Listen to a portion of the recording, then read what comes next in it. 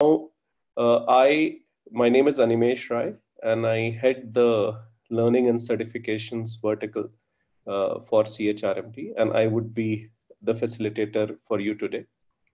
Um, before I start with the topic of the day, I would set some ground rules. I think it's a very important topic that we would be discussing today. So I would be taking you through uh, the HRM role uh, for a pandemic like coronavirus.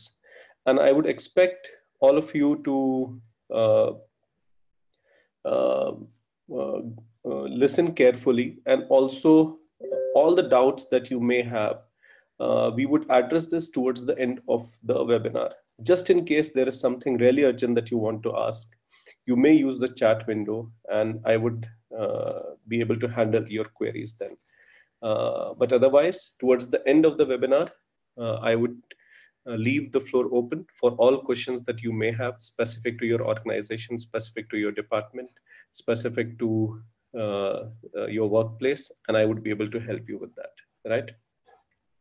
Before we start, again, as we are talking about a pandemic like COVID-19, I hope everybody is safe and sound and maintaining social distance, staying at home, uh, uh, ensuring that we, we ourselves are following all policies that have been set, all directives that have been set by the government, state, state and center, and otherwise also informing as many people as possible of the seriousness uh, of which the country and the mankind is facing right now to begin with, I think uh, these are the topics of the discussion today. This is what we will be discussing. We would first understand what is a pandemic uh, and what uh, it stands for. Uh, we would talk about business continuity uh, as a principle. And then we will talk about HRM, role in business continuity. Uh, we would talk about areas that HRM and policies and plans uh, uh, that they need to focus. And then we will be taking a few examples uh, because it's a very, very huge topic. Maybe in an hour's time, I would not be able to cover everything. But we would take few examples, very relevant examples for policies and plans that HRs need to implement in their respective organization during the situation that we are facing. Everybody is clear. So in between, I would be asking is if everybody is clear, they are okay, they are understanding, they are with me, and a quick yes would help. So everybody uh, is clear.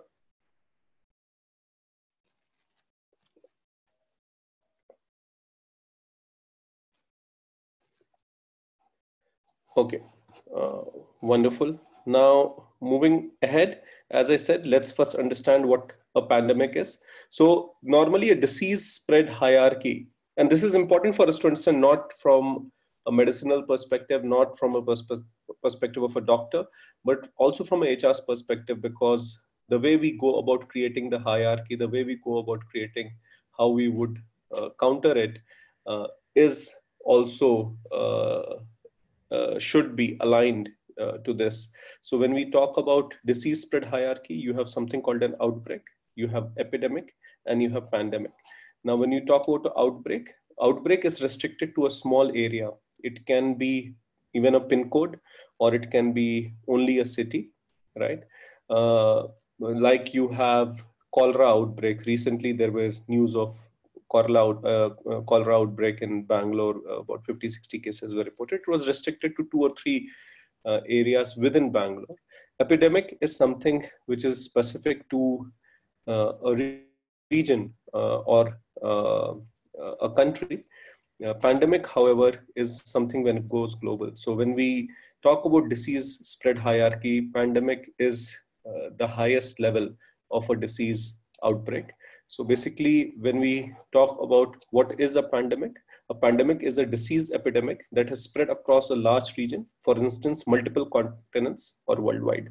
Now, if you look at, I'm, I'm sure that you're following news, you're in it, you have been seeing forwards, your WhatsApp is full, your Telegram is full, you are uh, with videos, with horrifying stories of what's happening across the globe in China, in Italy, in the US, and also uh, picking up in India. Uh, if you look at just for example, when we say the global reach of what is happening, uh, if you look at uh, some data, this is some data which stands as of yesterday, yesterday which is about 23rd March. Uh, we have close to 3,75,792 positive cases. There are close to 16,494 deaths. And if you look at it's worldwide, uh, this is a list of top 10 uh, countries. Uh, if you look at the in, in, infections are not stopping and just spreading. So you can see that clearly it's a pandemic. And uh, as of now, we have close to 1.7 billion people uh, who are under lockdown across the globe. So whether it's uh, California in US or New York in US and other states there, or it's Italy or Spain or France or Germany or India, where almost 30 states are in state of lockdown, 1.7 billion across the globe are in lockdown, right? Now, and with, with this understanding of pandemic, uh, you can see uh, to something of what level uh, the business, the organizations, um, humans, in fact, are facing. And in this, uh, from an HR perspective, from an organization perspective, what is very, very important is uh, to have an understanding of business continuity. Uh, when you look at business continuity, uh, I think business continuity is about uh, planning uh, it, it, you know it's it's about creating a system of prevention and recovery to deal with potential threats to a company and ongoing business so there are different things can that can threaten your business there are different aspects that a war is an aspect uh, government policies can be an aspect uh, um, relationship between two countries can be an aspect right change of uh, uh structure, taxation, etc., uh, is a uh, aspect. Anything which is external is a factor. In fact, technology being changed also is a factor. Right now, one of the additional factors which is very very important, which we are all foreseeing, is disease spread to the uh, to the to the scale of COVID nineteen, which in in i think living memory very few people would have seen anything like this right? So business continuity planning is the process of creating systems of prevention and recovery to deal with potential threat to a company and ongoing business. And this threat can be anything including a pandemic. The goal is to enable ongoing operations before uh, and during execution of dis- disaster recovery. So uh, we have to ensure that business operations uh, before uh, and during uh, the disaster during the pandemic uh, continues uh, and uh, there is we don't have to shut shop. So it's very very important that we understand the idea of business continuity because when we talk about hrm and aligning hrm to the principle of business continuity this understanding really helps. One more understanding about business continuity which is very important is what is it aiming at covering right? What comes under it? So when we talk about business continuity four or five things stand out. For example, the business processes, the assets that the company has, human resources, and business partners, uh, vendors, other partners that you are working with, right? So, uh, uh, so if you look at the overall picture of business continuity planning, uh, these four aspects are key uh, to an efficient uh, business continuity planning. And we would be taking one aspect which matters to us, us being HRs, and us being HR professionals, and that is human resource, right? So business process assets, human resources, and business partners. These are four aspects. And now we would be talking about human resource as an aspect for business continuity planning, right? Uh, now that brings us to the topic of today, right? What is the topic of today? I think topic of today is HRM during pandemics like coronavirus, COVID-19, right? Now, uh, we have to understand the principle uh, uh, or the human factor behind uh, the entire uh, structure that we would create to deal with it. Uh, so, as I said, business continuity includes human resources. Humans are who run the business today.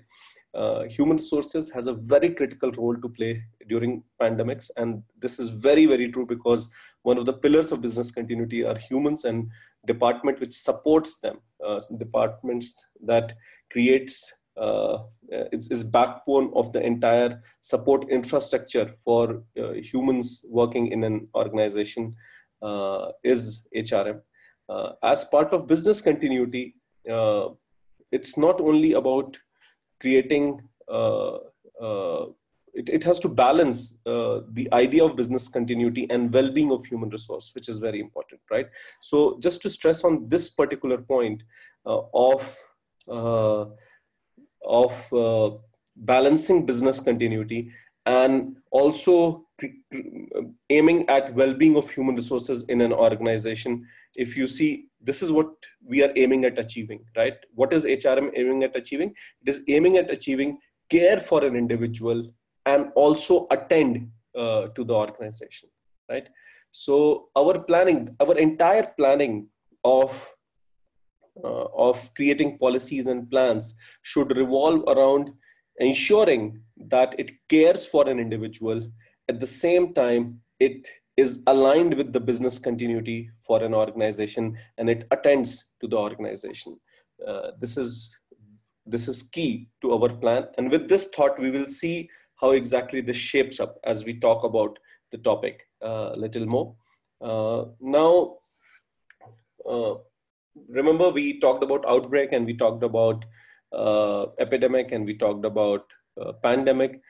Basically hrm res response strategy uh, also needs to be structured at three levels uh, global regional and local right? Uh, these three levels is true for a lot of organizations which have multiple offices. For example when you, you talk about an organization which is in which is a multinational corporation and it is in 30 countries 60 countries 90 countries with workforces in all these countries or you can also talk about a, a company which is headquartered at one place but has its employees um, uh, working on client location at different places or you can also talk about a company which is only uh, locally driven or only regionally driven. But the idea is depending on the your structure of the organization the size of the organization the reach of the organization the presence of the organization uh, globally your strategy has to be either global uh, or regional or local or all three so if you talk about big multinationals i think uh, when they are looking at creating a hrm res- uh, response strategy for a pandemic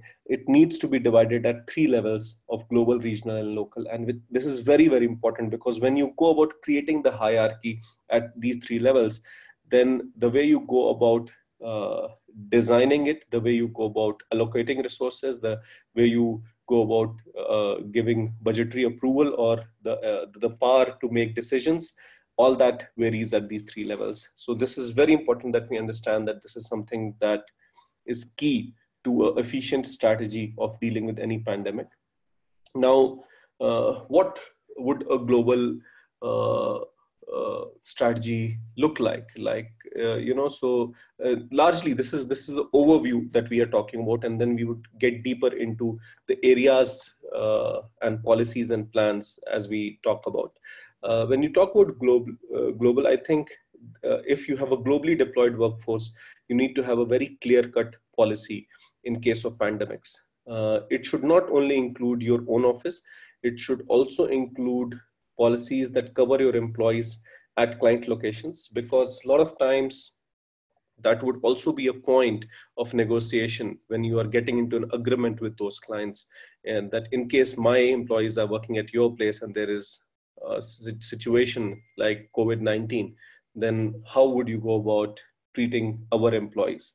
And that becomes a very key factor in in, in signing of agreements uh, there has to be a central global response team for better coordination. Now, remember, you don't need a dedicated response team, but you need a, a team which can dedicate itself in time of need, right? So when we so you might have hr heads hr managers uh, or operations manager or from different different verticals you and this nominations can be uh, voluntarily. However, these guys needs to be trained and they need to be updated and given enough information at any given point of time that they are able to respond better uh, based on the policies that are there for organizations and they are able to coordinate better uh, and are able to help uh, employees in situations like these right travel stay medical evacuation policies like these are key to a response plan globally.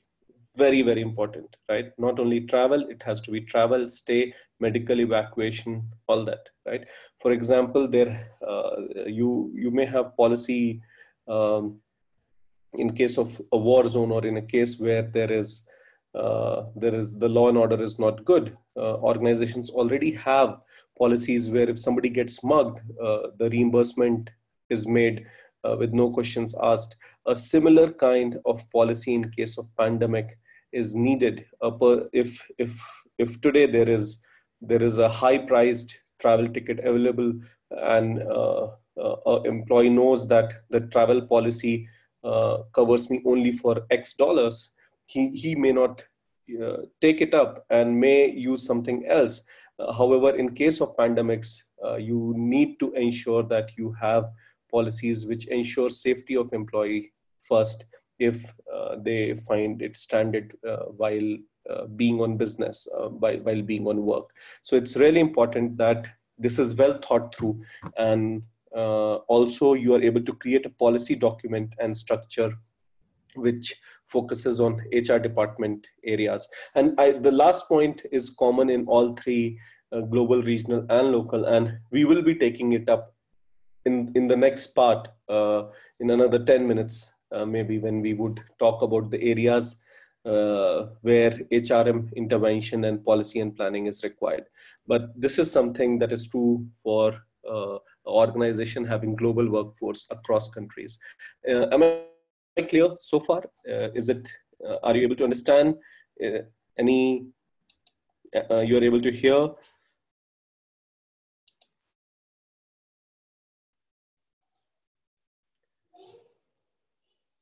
Right. Okay. Wonderful. Wonderful. Right. Great. So uh, coming next to to the regional uh, HR structure, HRM structure to deal with the uh, pandemics better, I think you need a country and a state specific policy. Any union, uh, like like India, like USA, UK, any any country which which has which is a union of states, you need country and state specific policy because you may have uh, different laws, regulations, and way uh, how things are treated differently at a national level and at state level. You need a regional response team, just like you had a, global uh, response team. You need a regional response team. They need to be equipped with information, policy knowledge, uh, decision making abilities, and also uh, whom to coordinate and how to coordinate uh, if it comes at a government level as well right? Uh, it is important that decision making authority and budget allocation and decisions on budget can also be made uh, by the response team or the hierarchy is broken and people do not have to really wait for a central authority to approve and this should already be taken into account uh, before a pandemic happens and it should be part of the policy. And as i said uh, when it comes to hr department focus areas you need to create policy document structure and plan which as i said we would be discussing in in the later part of the discussion today right? Now when it comes to uh, local i think uh, you need a local coordination team as well. Uh, you need a spoc uh, if the team is not that big or uh, if you have less number of uh, employees in there. I think also decision making at local level uh, should should the, the power should be given and it should be in line with uh, regional and global policies. So you the policy that you create you keep in mind what are, what is your global policy you keep in mind what is your uh, regional policy. Uh, the budgets uh, as i said should be allocated and then again you should have a clear structure of uh, the policy and plan for HR department focus areas, right? So, the, so, uh, so it's important that uh, you do not create a pandemic plan only globally right? Even if if there is a company which uh, which is uh, there a number of countries, it's truly a multinational company with different number of offices, uh, employees, workforce, uh, nationalities, uh, diverse crowd working in them.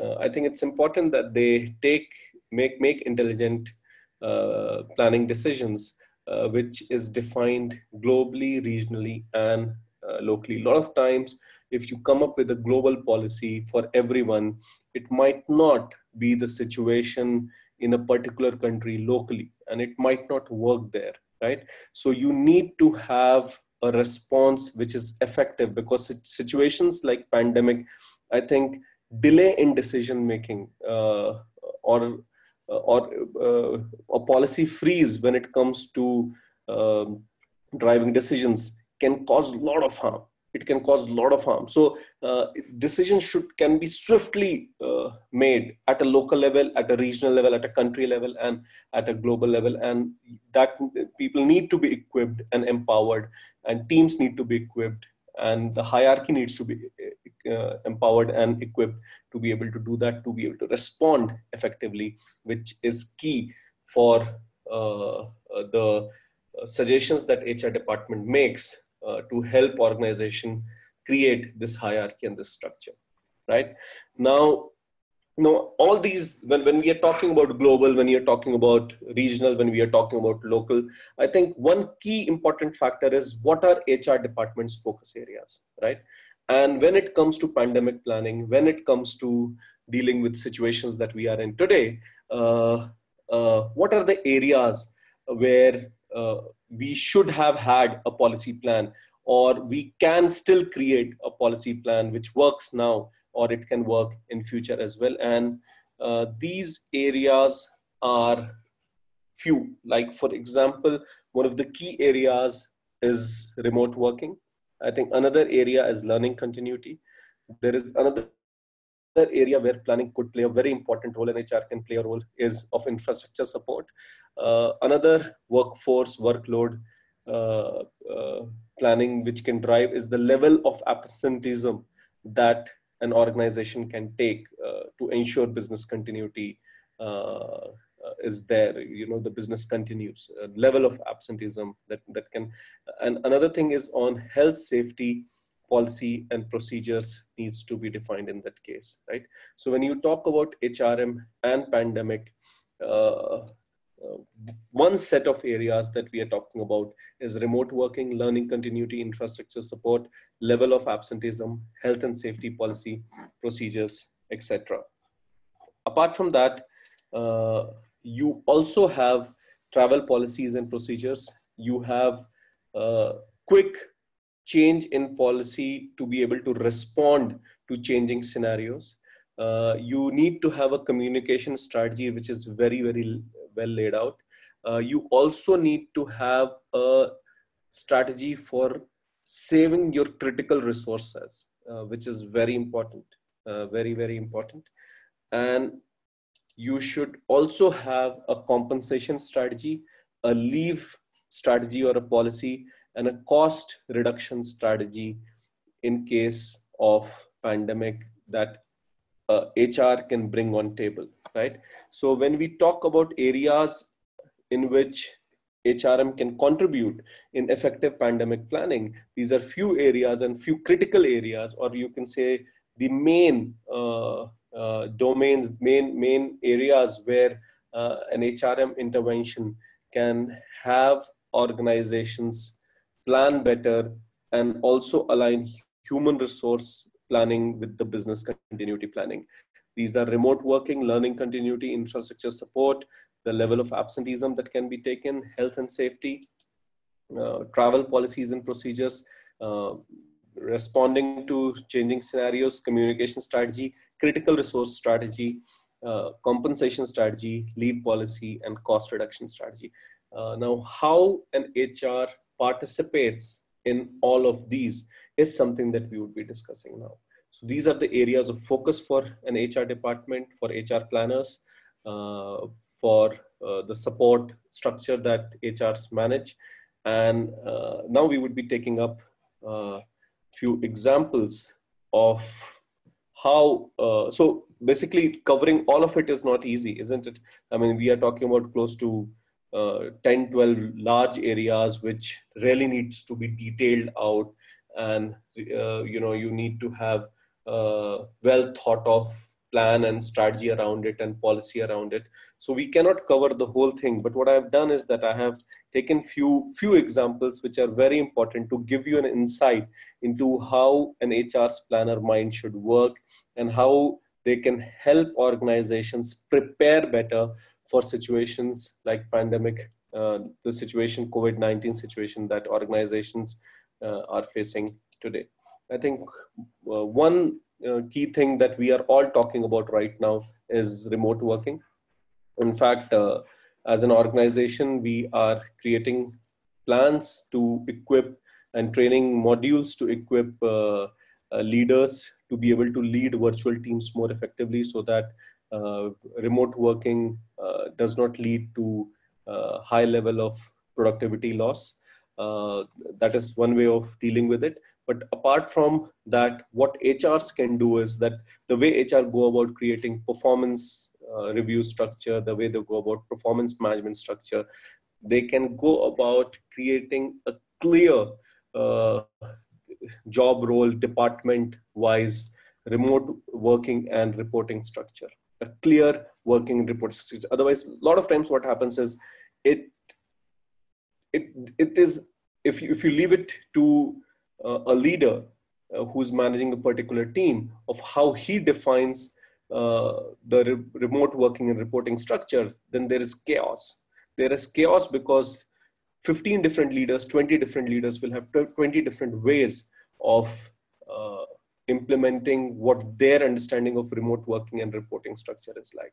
So having a clear central reporting and remote, remote working structure and that central need not be just one you can make it different for a hr department you can make it different for an operations department you can make it different for an accounts department you can make it different for a it department or a support department or troubleshooting department you can have different uh, uh, structures but it's important that it's it's thought already it's all created already it's shared already so that in one particular department, uh, leaders are dealing or driving people to be effective at workplace uh, uh, in, in, in the same way. There is uniformity that is maintained.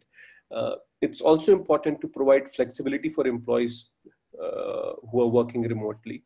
Uh, and probably one point that I would make later in, today is also about why this flexibility is important it's not only that offices are uh, closed, it's also that schools are closed. Um, there are situations where uh, uh, helps who come to house uh, are not allowed. So we are talking about increased workload where um, parents have to look at work, they have to look at children, they have to look at maybe parents, and they have to also handle other household activities. It is not easy. So to be able to create something more flexible is need of the hour, and it should take that into account. It should uh, involve that also, so that remote working becomes possible. Uh, I keep hearing uh, some uh, news uh, and reading some articles on how organizations want employees to be nine hour in front of camera. I think uh, that's not the way you go about dealing with it. Uh, it's about giving space uh, and creating efficient structure so that outcomes are met. Uh, it's also important, one of the key things now becomes are the work meetings, uh, right? And how do you create policy around it? How do you create structure and the kind of rules around it is very, very important. Now, uh, imagine a situation where these meetings were happening in office. It was so easy to interact isn't it? People were looking at each other talking to each other uh, seeing their facial expressions. They were able to understand how to go about driving this through. One simple rule for example that we follow in our organization is that we have uh, uh, when whenever we have uh, meetings whether it's team meetings or all hands meeting uh, we uh, everybody has to switch on their camera because we should be able to see them. We in, in meetings, it's important that there is 100% clear participation from every uh, person and this is a rule that we follow and similarly uh, different organizations can have different rules but the idea is to have meeting structure and rules so that there is clarity of how uh, meetings would start uh, how it would be conducted what would be the code of conduct around it and how it would end and how would uh, the um, outcomes be defined. Uh, that's the next point that you know how do you how in individual meetings team meetings how they go about defining the work outcomes that is very very important. It's important to not only uh, get the work outcomes out it it's important that it's written well and it's also important that it's communicated well so that every person who is part of the team who's remote working is clear of what he has to achieve for a day or a week right? Now uh, preferably initially it's important that meetings happen more regularly and people are clear with their outcomes and what they have to achieve uh, daily and that really drives that across. Also uh, what needs to be defined while remote working is uh, how would you do performance review? How often would you do performance review? And leaders need to be equipped to be able to give the right feedback and conduct this review discussion using the right communication tools uh, which is again very very important right? So when we talk about remote working uh, the policies the plan that hr department has to help the organization with uh, is uh, and there is more, uh, but the first part of remote working is that there has to be clear remote working and reporting structure. There has to be uh, flexibility as part of uh, cultural support that you give to your employees. Uh, work meetings should have structure and rules, and it, the outcomes should be well defined. And there has to be a performance review that is done. If earlier, if review was happening once in three months, once in six months. That has to happen much more often. It has to be more continuous to be able to ensure that productivity levels are same or high.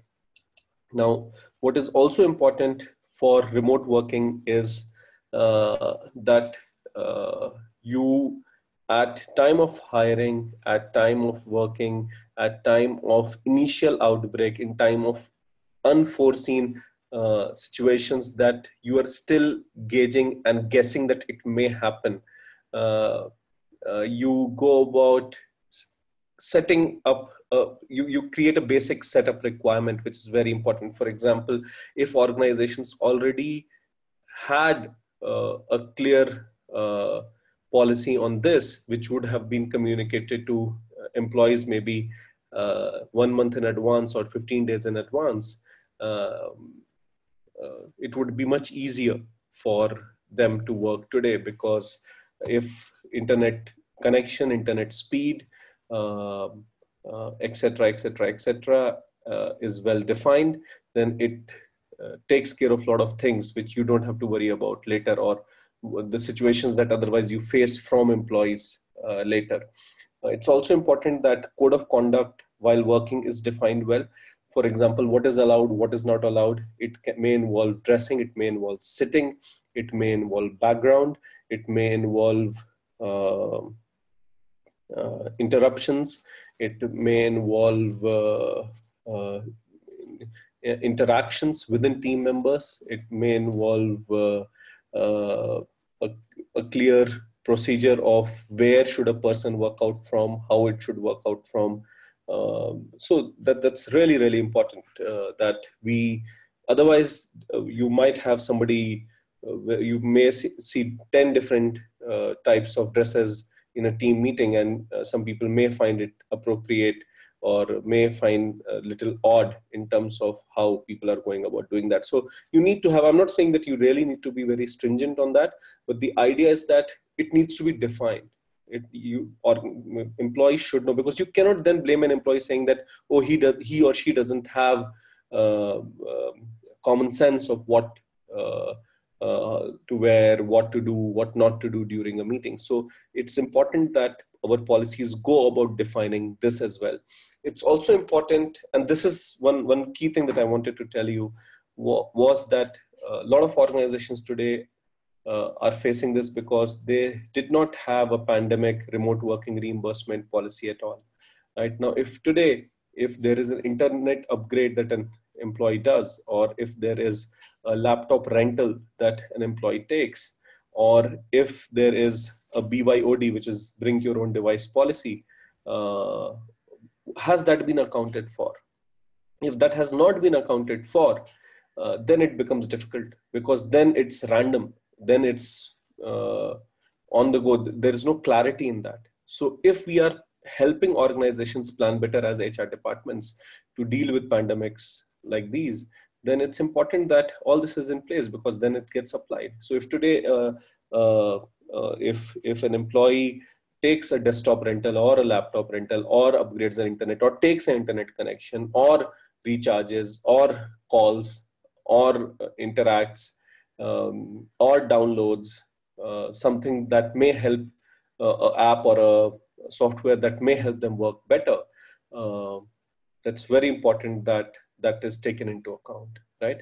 A huge part of this can also be uh, uh, your infrastructure planning. For example a lot of organizations keep uh, laptops uh, in reserve. They keep VPN licenses in reserve. They keep uh, security uh, software licenses, uh, SaaS licenses in reserve.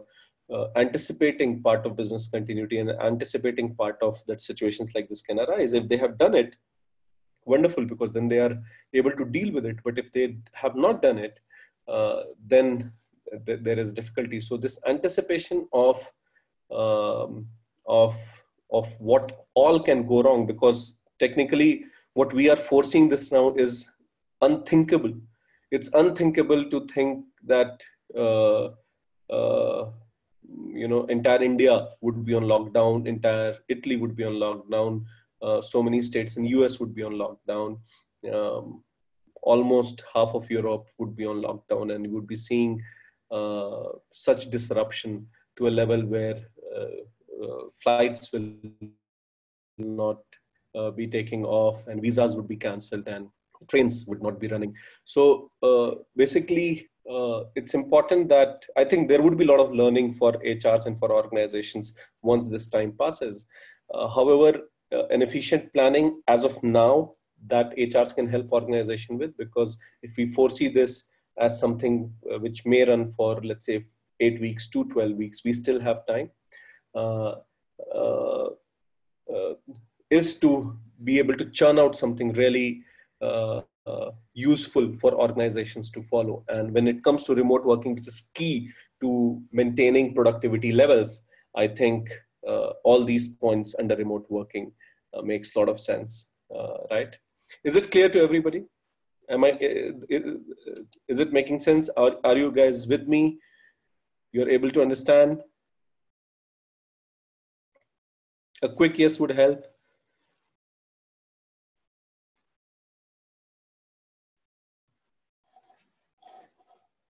Okay, wonderful.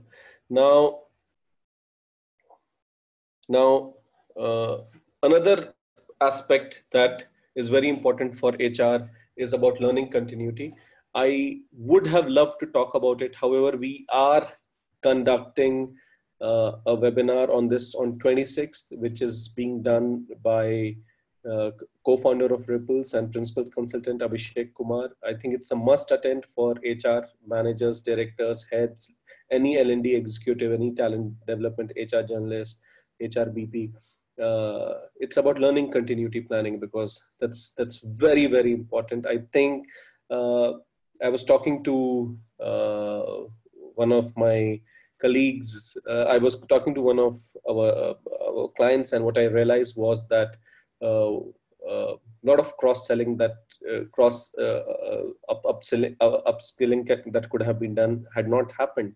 And I think um, as part of learning continuity, he would cover a lot of topics which will give you idea of what can be done to keep morale of employees high and make them feel uh, that business is as usual and also ensuring that uh, this time is rightly used uh, to develop competencies which are needed. So this is something that is happening this Thursday, day after tomorrow from 4 to 5.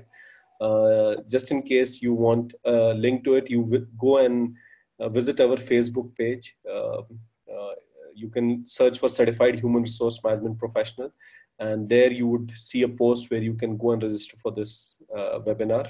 If you're part of WhatsApp group, then you can also uh, reply back and we can share the links there as well right? Uh, now now now this becomes really important as part of policy which is health and safety. Any pandemic situation any disease related situation i think one of the foremost policy is how uh, one, of the foremost thing for an organization is how evolved and how responsive was our health and safety policy right? So i would cover few points which is food for thought for hrs today uh, to upgrade or update their hr policies that allows them to deal with situation like these right? So for example uh, there has to be a hygiene directive in case of outbreak or epidemic or pandemic which talks about uh, situations where people have to work out of home or remotely or people are trapped and how they should uh, maintain hygiene whether they are at home hotel service apartment pg or elsewhere right? Uh, i think it's important that you pl- place posters which are informative which give visual representation in workplace. I think in a lockdown that's too late but still you should be able to send emails whatsapp telegram groups and should not depend on what's being circulating on social media. So to feel from a hr perspective or an organization perspective that everybody already knows. They must be watching tv news. They must be watching all these forwards that we are getting. Uh, it does not mean that you do not provide this information to them right? So it's always important that you collect the right information from the right sources uh, get it organized and share it uh, the right way to as many people as possible in uh, your employee uh, groups and to all employees otherwise, right? it's important that health and safety policy encourages people to stay at home when they are sick. In fact, some organizations also talk about send a sick employee home policy. So that has gotten added to a health and safety policy. So you send a sick employee home, and that's part of the policy. So it's not necessary that the person has to go to a wellness room and rest. It's important that if somebody is sick, you can send the person home. Uh, uh, it's important that you share, as of now, when it comes to COVID 19, the proper etiquettes for coughing and sneezing. Very, very important. I think it need when, when you say proper etiquettes, uh, in case you are conducting an online session uh, on this, as of now in lockdown or otherwise, then you need to probably make them practice five times uh, on uh, some dummy sneezes and coughs so that they get used to it. But it's important that this is explained. It's explained how to wash hands. It's also explained how to use antibacterial gels and sanitizers otherwise right? Um, you should actively encourage employees with uh, respiratory illness and fever to stay home. Uh, we are in lockdown. Maybe this was more relevant a few days back. But otherwise also uh, under essential, uh, essential services, you have a lot of organizations which uh, which the government allows to a minimal number, which should be enough to run a business. For example, if you're talking about telecom or if you talk about even in certain cases ITS services, it's important that a minimal number uh, uh, government offices so if you see, they say, right, that 40% of the government officials will be present, 25% of government officials will be present. The army would be divided into three different parts and uh, so many people will be told to be at home. So many people would be um, uh, working out or working at different offices. So it's important that, uh, you know, uh, uh, uh, you have a policy around that uh, as well. Uh, so uh, in case if there is any cases of people who are having any res- respiratory illness, in fact, if you look at COVID-19, that if there is high blood pressure, heart conditions, anybody who's more sub, uh, who, who, who, who, the chances of him suffering or her suffering is more, uh, then they can be given preference in terms of staying uh, home and this is something that you can go about implementing in your organization. It's important that you create a policy because a lot of organizations today contract and subcontract employees from uh, third party vendors right? So if that's the case then if so you have security guards and you have uh, uh, office assistants and even in fact you have software engineers and they're being billed uh, by these companies to you and they might have a different policy right and if they have a different policy they might force people to come to work when technically you don't want them to come to work uh, because your policy doesn't allow which technically means that you create policy for companies that provide you uh, contract and temporary employees. That is also very important. So, as part of health and safety, it's not only about your employees who are on your payroll. This you need to have a policy to deal with employees which are coming on other people's payroll as well, which is very important. I think it's important that employees know about social distancing and not only just the term social distancing, which technically uh, makes you feel that you should just stay away as far as possible. But there are a lot of there are lift etiquettes that can be talked about. There are meeting etiquettes that can be talked about. There are standing in a grocery store or a shop shopping etiquette that can be talked about uh, uh, there can be traveling etiquettes that can be talked about and this needs to be communicated actively by hr departments in situation like these to all their employees.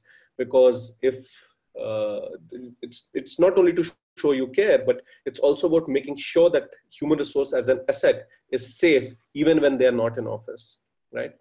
Uh, uh, organizations uh, to deal with pandemics like covid uh, should have or should now in future provide tissue rolls, alcohol-based hand sanitizers, which has more than 60% alcohol content, face mask, uh, and it should not only be provided to them, it should also be kept in common areas, uh, common areas like toilets, lifts, conference room, training rooms, etc. You would have seen, uh, I'm sure that you would have seen few videos where people have toothpicks to press for lifts. You can have sanitizers there.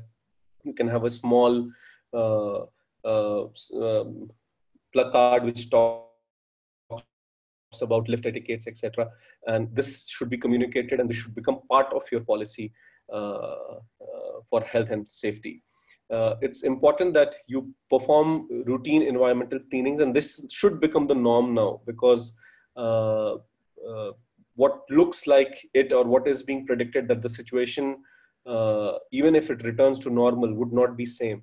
Uh, so it's important that all these things become part of the norm. So you should perform routine environmental cleaning of all frequently touched surfaces whether it's workstation countertops doorknobs etc this should become part of uh, your health and safety.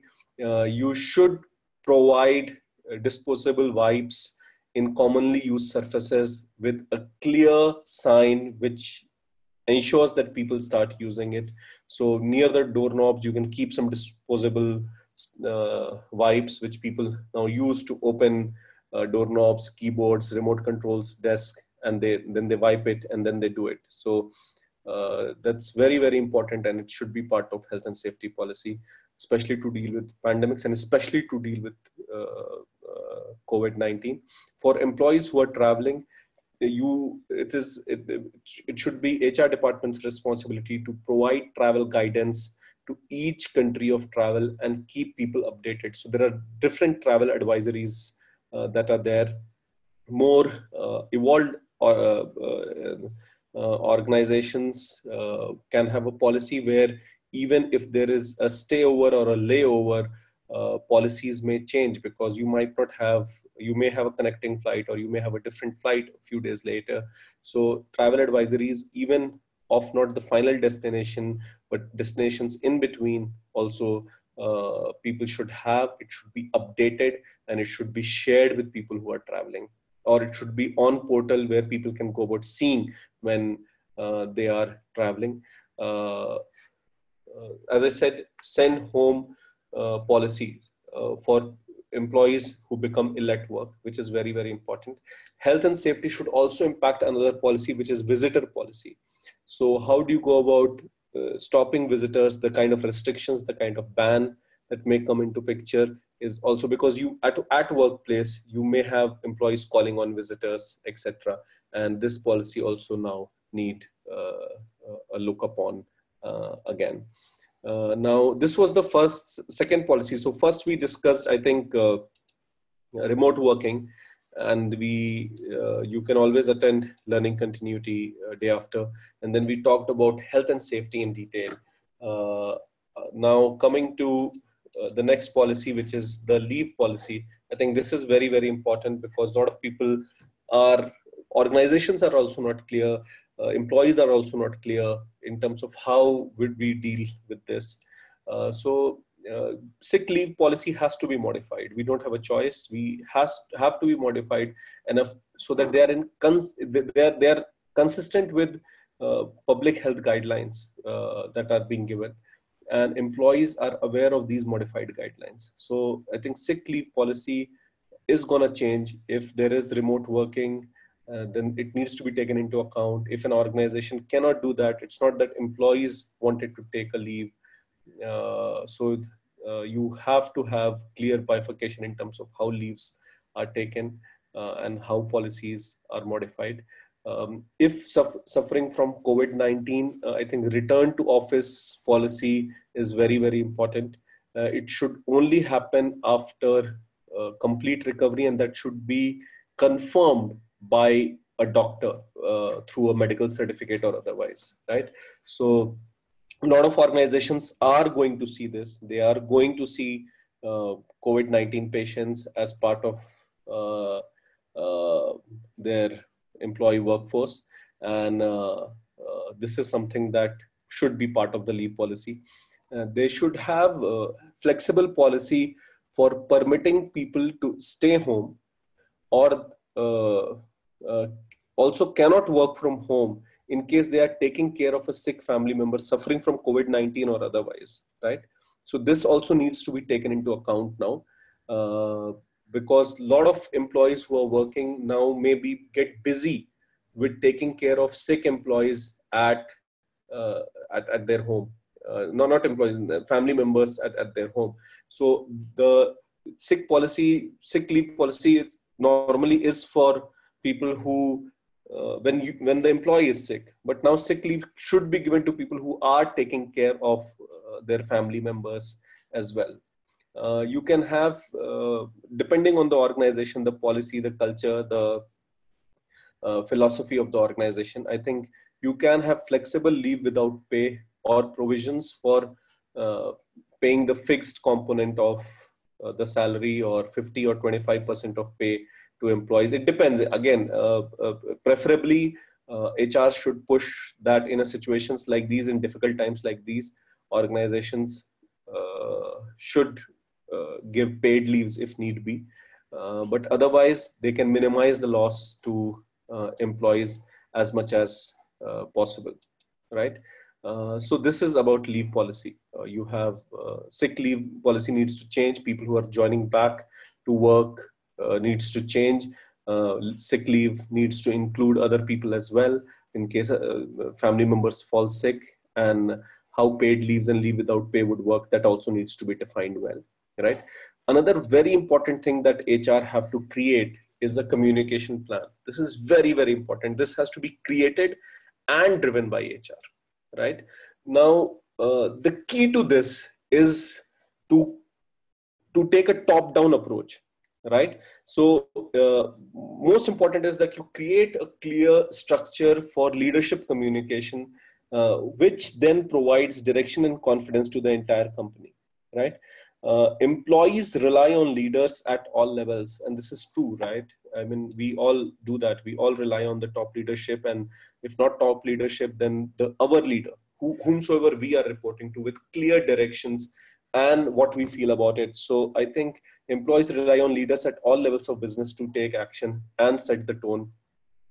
In communications from senior business leaders to managers, we need to prioritize employee health and business sustainability. So remember, I showed you a slide which talks about uh, uh, attend to business as well as be human and look at employee, right? So this has to be communicated. We have to communicate employee health and business sustainability from top down so that everybody understand what we are facing and we are in it together. That's very very important.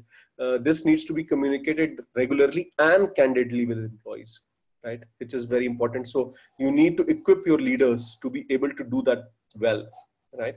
Uh, you also need to con- uh, contextualize pandemic for the organization. So you uh, make leaders a trusted source for accurate and up-to-date information on coronavirus and how it is impacting the organization. So there is you need to be uh, transparent in this. You need to have uh, clarity in terms of what getting communicated but also you have to be real because a lot of times you should not hide information and should not take decisions just like that. It's always good that if let's say this situation is there for 10 days well and good 14 days well and good. Now situations may change. It may extend.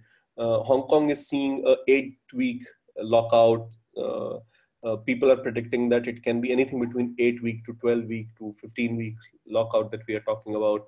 So uh, it's important that uh, uh, if leaders are equipped they are updated they are they, they are empowered then up to date information of how organization is getting impacted and what can best we can do to make that minimize that impact is something that needs to be communicated which is very very important. I think it's also important to establish team guidelines. I, this is also part of remote working. Uh, however i included it in communication because when team comes one of the most important thing is how the team communicates. Uh, so uh, uh, remote works looks different for each employees depending on their need and and those of their family. As i said with the school closures many employee must take a double role as they have to support children families throughout the workday.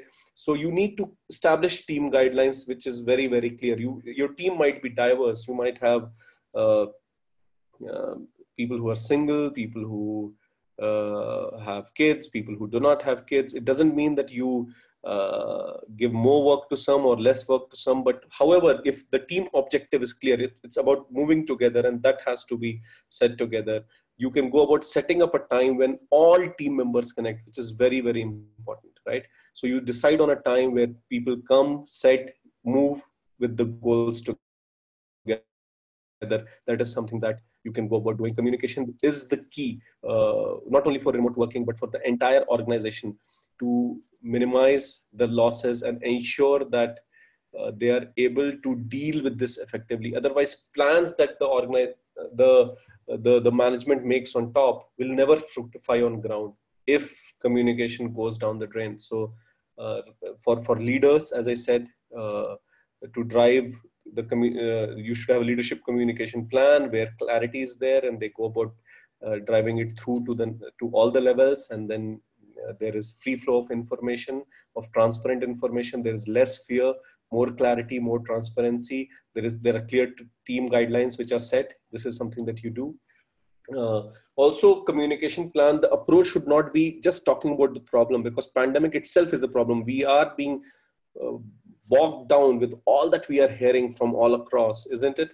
So when people are working when people are participating when people are interacting i think uh, uh, the approach that needs to be taken, the tone that, that needs to be taken is that uh, of problem solving. Any business problem, any team problem, any work problem, I think it's important to focus more on the solution. Uh, it's important to involve the team, people, individuals, employees uh, in coming up with a solution. And that is something that we need to take. It's very important that we create a very transparent open door policy and make it really easy for employees to ask questions, uh, which is really important because they themselves are uh, fearful right now. Uh, they there are these are uncertain times. I think one thing that we can do is uh, to bring in uh, uh, more clarity is by encouraging them to be doubt free and to be able to ask questions uh, which a lot of times organizations do not have that kind of culture. But this is the time to ensure that that culture picks up right? Uh, communication must be swift clear supportive and should show care. This is very very important right? Uh, it's important that uh, if we are talking about work the outcomes uh, are well defined. Uh, if, if the support that people need that is well defined. What needs to be done is well defined and all this should be done in in an ambience of care. So it's important that leaders people who are interacting teams who are working hr department in their interaction management in their interaction through emails through conversations through this. And that if you see all this uh, i mean whether you talk about health and safety and make it popular or whether you talk about remote working make it popular whether you talk about communication and make it uh, top down or whether you talk about interaction or when you talk about more transparency or when you talk about more clarity and people coming up with and clar- clarifying their questions. I think all that is a way to show care right? And uh, so uh, but you have to make it part of your culture which is very very important. It, so a lot of times what would happen is that you may feel that oh nobody's working my team member is not working i am under pressure i don't know what's happening what's not happening. I think it's important that the message comes across but what, what is also important is that it comes across uh, not forcefully it comes across with care it comes across uh, with clarity it comes across with a supportive attitude uh, which becomes part of the, your communication plan. And you can go about picking up a plan and creating this around it and suggesting that this this is something that we would like uh, the tone to be and i'm sure that employees would comply right? Now there are some other areas. So these are few examples. Few examples that we took were on remote working. We took on health and safety. We uh, took on communication. There are a lot of other areas. Just to revisit, if I revisit all the areas, uh, these were the areas: remote working, learning continuity, infrastructure support, uh, level of absenteeism, health and safety, policy and procedure, travel, uh, response to changing scenario, communication strategy, critical resource safety, compensation, leave policy, cost reduction. We took few examples. Uh, we took example of remote working. We took example of health and safety. We took example of leave. We took example of a communication plan these four examples we took, right? But there are some other areas which also need attention. So briefly, I'll cover this up before I come to the end of the webinar and I throw the floor open for you asking questions. I think it's important that uh, when you are creating a policy and a plan uh, for pandemic uh, from from an HR perspective, you can keep these things also into consideration. I think it's important that uh, you are defining select positions as critical to continuous operations and establishing specific duties and restrictions for employees in critical positions. Business continuity is a must, as I said.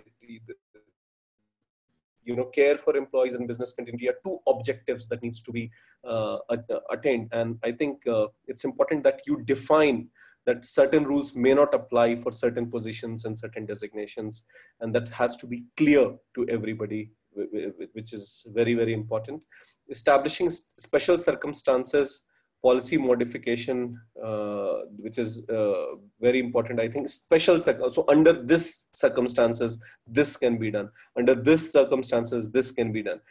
If uh, uh I'm, I mean, I'm sure that you're also bound by what government is saying and what local authorities or uh, the, the, way the things are happening. But however, uh, you have to define these select positions and bring them under category of special circumstances, which is very important. Uh, you need attention on employee compensation, payroll continuation, depending on the organization, depending on what they feel, depending on what the situation is, depending on the, their bandwidth uh, uh, of how much a hit can they take. I think it's important that you go about defining employee compensation, payroll continuation criteria. Uh, organizations are responding. Indigo, uh, if you look at, has taken 25% pay, pay cut across. GoAir has given leave without pay. So different organizations are responding in different ways. Different businesses are responding in different ways. Uh, you need to uh, have clarity. This cannot be left unaddressed. People should not be uncertainty there should not be uncertain people should not be uncertain they should not be because everybody needs to do their contingency planning if uh, if there has to be a, a pay cut if, or no pay cut this has to be communicated so that people are worry free or people plan accordingly and this should become part of your compensation uh, payroll continuation strategy i think uh, telecommuting uh, flexible work site consideration is really important. I think that is something that uh, would drive remote working for organizations. Uh, uh, also, uh, critical roles receive special status and facilities, which has to be defined as part of policy. Right. Also, would it include family members of the critical resource or not? Needs to be taken care in, into account. For example, if you talk about Reliance Industries, uh, the Ambani family has to be taken care of. If you talk about Microsoft, maybe Bill Gates. If you talk about uh, SpaceX, then uh, Elon Musk. So basically, uh, how uh, not not only them i mean there might be number of critical resources in an organization and what special status you are giving what facilities you are giving. It should be part of the policy. Does it include only them or does it include their family members? Uh, how does the whole thing work has to be well defined. They also need attention during times of pandemic and it should be part of the hr structure and the policy. Establishing the employer's ability to demand or recommend travel restrictions and geographical evacuation is something that should be clear to employees uh, whether the employer will be able to do it or not up to what level the person should be able to do it or not uh, is something that has to be defined well and communicated. Defining policies for employer ch- child care service restriction is very very important. I think uh, uh, there are labor laws also around it. In india you have a labor law which talks about uh, for uh, organizations 50 and above. Now whether it would be able to work or not what would happen how it would happen so you need to create a policy around it as well whether it in what circumstances it would work in what circumstances it will not work etc right? You should also go about establishing policies related to vaccination mandates and recommendations. And this should impact your hr policies uh, while hiring or post hiring or post traveling or post uh, uh, situation evolving before it's getting worse. Now, currently, in case of COVID 19, we don't have vaccination, but assuming that there has to be a relevant policy which applies to a lot of cases in future i think it's important you have flu vaccines you might have medicines for h1n1 etc but you need to have the policies now included uh, as part uh, of your overall hr planning and structure. I think uh, you need to have policies on e-tracking of sick sick employees, which is uh, which which also you need, organizations need to evolve. Uh, tracking compliance and implementing disciplinary measures for employees who abuse sick leave or time off that also needs to come into picture because right now remote working people are leaving it on leaders etc driving it through but there has to be misuse by employees there has to be abuse of sick leave there has to be abuse of time off. Uh, so all that disciplinary measures that needs to be taken should come into uh, uh, existence now. Cross training employees is very very important very very important. And i think a lot of time what now organizations would focus on once we are off this or even now when we are in this is uh, teaching leaders how to communicate, how to lead virtually, how to drive remote teams. And not only that, they would be cross training employees so that uh, eventualities like these, difficult times like these, uncertain times like these, organizations are able to face with ease and business continuity uh, uh, is not impacted. Uh, I think uh, towards the end of the webinar, what I would say is that this is what a chro should suggest to the management right? In situation like this in a pandemic like covid-19 this is what uh, a chro should suggest to a management. It's important that organizations right now don't see things in next two months three months. Uh, they need to go beyond that. Their vision has to be of long term and CHRO suggestion to management should be that consider your long-term reputation with talent. It is very, very important. A uh, lot of it would be talked about in times to come, right? This is unprecedented times that the whole world, the whole mankind is going through. I think how organizations, management, board of directors, uh, CEOs uh, behave uh, and how organizations uh, treat employees is will be talk of town in times to come. So uh, uh, they have to suggest that please think of your long-term reputation with talent. This is really really important. also, you need to protect your brand as an employer which is very important, very, very important. Uh, now, remember that short term pandemics should not damage employee experience. This is really important. So, HRs have, through policy intervention, through efficient planning, through discussion with management, through suggestions, have to achieve this for organizations, which is that they should not damage employee experience right now uh, as i said earlier it is very important a critical role that we are playing uh, uh, uh difficult line to walk on uh, difficult to balance these two but care for individual and attending to organization is something that hr has to support organization and employees with and with this thought i think i would end the webinar for today and I would leave the floor open for questions. Uh, please ask uh, any questions that you have now. You can type it in the chat box. Uh, please don't type it in the question and answer session. Uh, there is the chat box. I would look at the chat box and answer all your questions. Any thoughts, any doubts, any questions that you have, please feel free to ask now.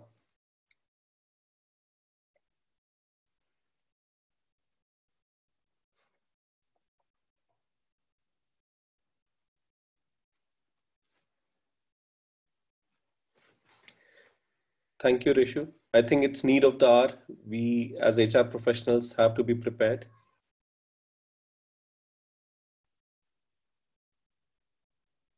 Yeah, I think HR has a role to play. A lot of times it can be one way also. Different organizations have different culture.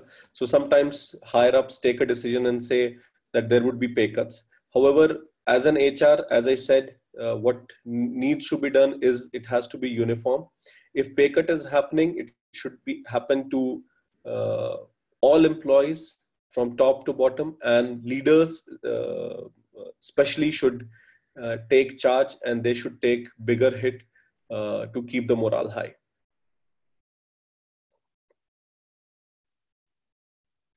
So, uh, how do you track review performance in remote working? Very uh, good question. Again, I think it's important that there is, in case of remote working, the outcomes are very, very well defined, right? So, I would want you to read a bit in terms of how outcomes can be written, read a bit on competency and how competency based outcome can uh, be written because that makes working very, very tangible, right? And uh, once that tangibility comes into picture i think then it's about continuous tracking. Uh, so first it's about defining it well and once it's defined well then it's all about tracking. So that's how you can while remote working it's about defining outcomes and then tracking the progress.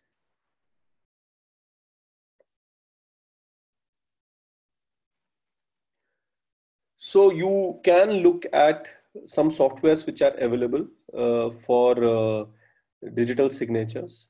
Uh, that is something that you can look at that.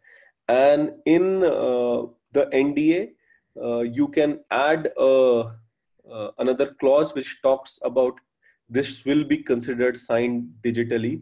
Uh, uh, email confirmation on, on the same uh, also would be seen as a proof for the same.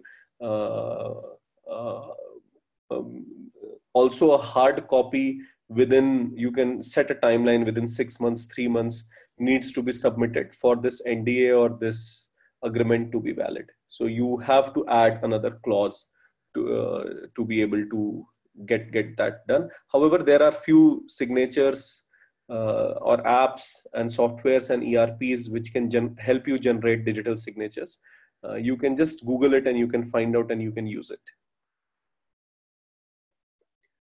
Rishu, I have taken your idea. I would inform to the content team uh, to have a webinar on succession planning and performance management. These are also topics in detail of our CHRMP certification.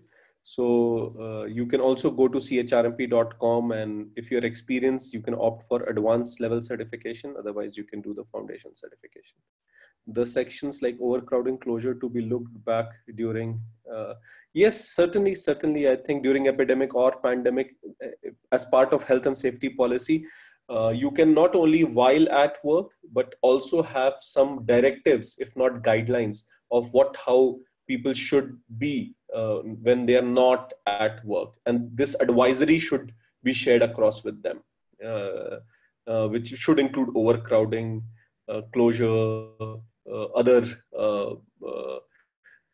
important steps that people need to know and they need to take. Any any other questions folks? Any thoughts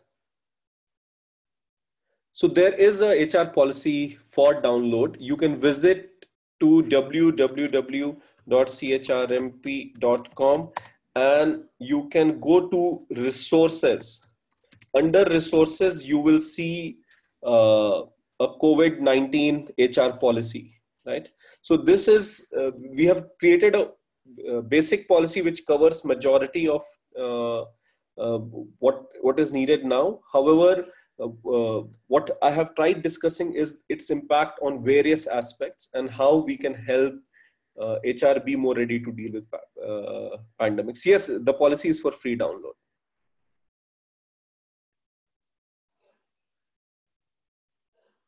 CHRMP certification is a detail. It's a, it's a global certification in human resource management. It is, uh, as I said, it's done in with participation with Pearson VUE. It's very very informative. It covers different modules, different uh, competencies that HR should have uh, to be a thought leader in the space of human resource. So you have uh, talent development, you have uh, talent acquisition, you have behavioral event interviewing, you have competency mapping you have performance management, uh, employee engagement, all these topics uh, with best practices, cases, case discussions, etc. that that that you are exposed to, and once you go through the self-paced module, uh, post that you can also go about writing the certification exam in the nearest uh, Pearson test center near you or online either way you can also attend these classes uh, uh, in in the different cities in India and, and abroad. But I would say that self-paced is as effective and it would work well, uh, um, especially with the whole COVID nineteen thing. I, I, would advise people to take online sessions or COVID or or uh, self-paced sessions. Yeah. Any any thoughts? Any questions? Any doubts?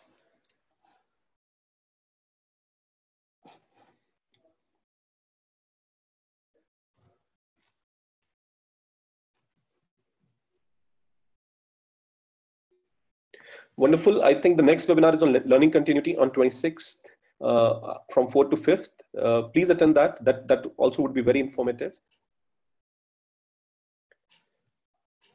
I think uh, you really need to choose a good vendor to be able to do that because uh, uh, online sessions are not just uh, one way the way webinars run i think there has to be breakout rooms there have to be polls there have to be activities there have to be case discussions. So the way uh, the design of the program works i think that needs to be vetted really well. Uh, and uh, they can be very effective. I think um, online sessions can virtual sessions can be really effective. I would say that uh, look for if you're looking at up, upskilling your employees, then you can opt for uh, virtual sessions which are instructor led because they would make really a lot of difference in terms of how people do. And I think uh, if people find it interesting, they would not only attend once, they will keep attending again and again. So as, as a HR, you need to vet the service provider really well. We, we do provide a lot of uh, virtual training sessions on leadership on communication on feedback on coaching on performance management etc as well. If you are hr and you are interested uh, you can write a mail to uh, this email id and the relevant team would get back to you. Right. If you want virtual sessions to be conducted uh, for your employees, you can certainly write it down to these two email IDs or any one of the email IDs, and they would definitely revert back to you. Uh, we have some special uh, sessions on leading during virtual times and uncertain times and uh, on communication, etc. Thank you so much, uh, everyone, to attend this webinar. I pray and I hope that all of you stay safe. Uh, remember, the way to stay safe is to stay put and stay at home. Uh, we are in fight with virus. The virus spreads when we interact. Uh, remember when we were uh, small and we would write these essays in, in the English literature exams, we would use a sentence called man is a social animal. I think it's banking on that. And uh, to defeat it, I think we have to be anti-social. Uh, as one of the forwards that I got, which said that united we fall and divided we win. So let's stay divided, let's stay put, let's stay at home. And I hope that we all come through this uh, uh, successfully. I'm sure we will. Uh, and um, I uh, pray for everybody's well being at the same time. I hope that the role that you are in, you are able to guide your employees, your organization, your management in terms of having an effective and efficient HR structure that deals with pandemics better. Uh, thank you so much for your time again and hope to see you uh, attend more webinars and keep uh, be, be updated always. Thank you so much.